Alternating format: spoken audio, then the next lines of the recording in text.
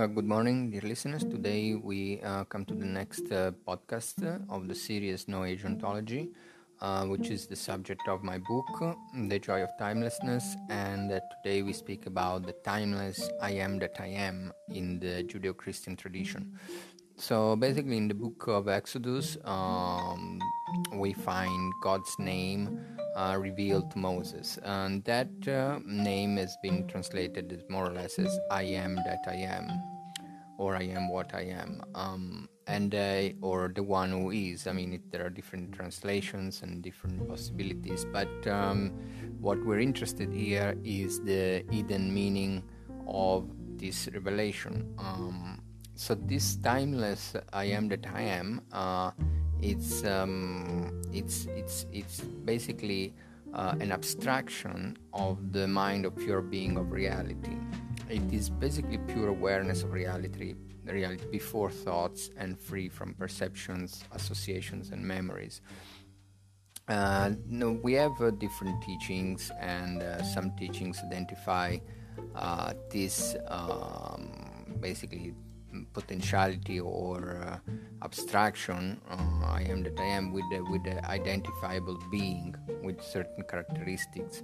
Uh, but these are actually uh, transmitted in order to communicate to uh, sentient beings which are attached to form and fixed identities. Uh, and usually the revelation is about some relative truths moral principles and um, the laws of realities are usually um, transmitted uh, for their own benefit.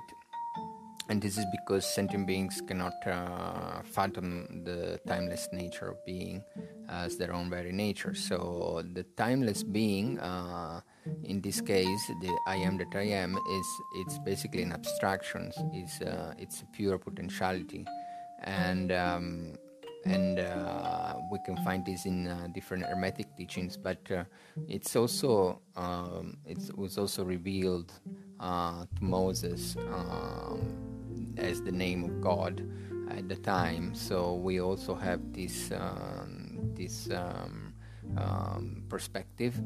And uh, just to say that of course uh, religious teachings are all manifested directly from from the timeless potentiality of being, uh, and it's possible, you know, for uh, for these to for these principles to be uh, transmitted, uh, but it's always transmitted according to the culture and according to the mind and according to the spiritual uh, development of the sentient beings to whom it is revealed.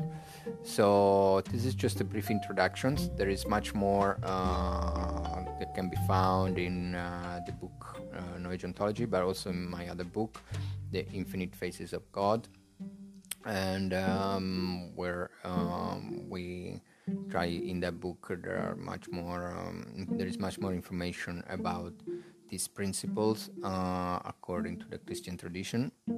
Uh, so thank you for listening and uh, I will uh, speak to you in the next pod- podcast about another tradition, uh, which is the Advaita Vedanta wisdom tradition of non duality. So we go from uh, one tradition to another tradition just to have different uh, perspective about this state of timeless pure being as it is spoken in different ways with different words uh, bearing in mind that no words can actually describe it and one has to have uh, uh, one's own experience of it.